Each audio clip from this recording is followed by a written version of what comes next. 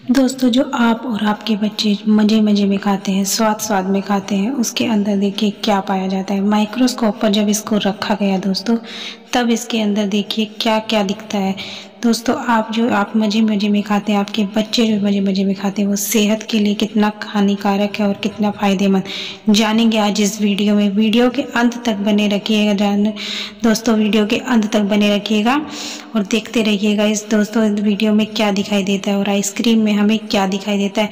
दोस्तों, आइसक्रीम में पाया जाने वाला जो भी है, आप इस वीडियो में देखेंगे। दोस्तों, लास्ट तक देखे रहिएगा, देखते रहिएगा